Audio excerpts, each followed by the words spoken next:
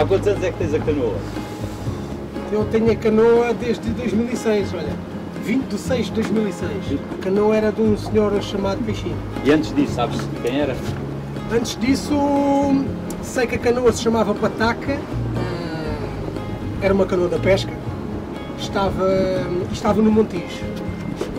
Eu conheço pessoas, eh, conhecia uma pessoa que ainda andou à pesca, que infelizmente já morreu, era o Sr. Aranha, eh, e que disse-me que familiares dele, antes dele, já tinham andado, estamos a falar de 1910, não sei precisar Ok. o ano exato que a canoa foi construída, mas por volta entre 1910 e 1920 já a canoa estava a andar. Eu comprei ao peixinho em 2006, a canoa tinha o nome de Helder e Mário Rui, a canoa branca, e depois, depois meti a canoa ao meu gosto, ao meu gosto isto é com cores diferentes, a canoa era toda branca e agora parece um, um verdadeiro arco-íris. Está fixe. Tem, está característica, toda a gente sabe, basta ver a canoa ao longe, nem precisam de saber o nome, já veem que é a princesa da terra. Medidas, peso, mais Sim, ou menos. não, não, o peso, Área o vélica. peso que está, o que está num livrete é 3 toneladas e meia. Ok. Eu quero acreditar, quase certeza que tem, Tem mais. tem mais, Tem mais, exatamente como tu dizes bem, a canoa com a idade vai encharcando, cada vez fica mais pesada.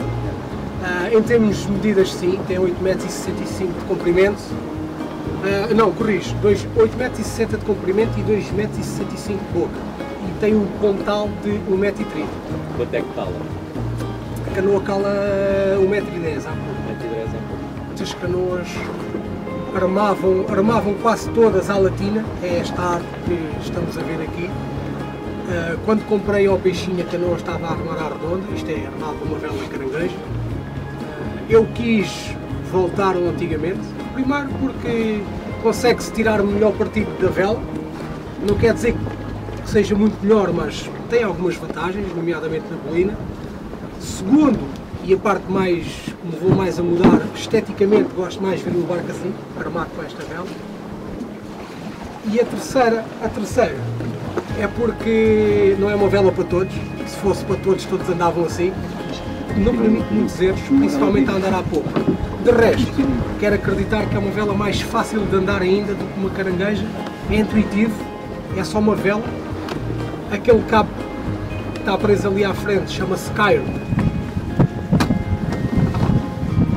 Este cabo é uma autêntica vela de estar. Sempre que folga ali a escota para tirar melhor partido da vela, convém folgar também aquele, aquele cabo importante.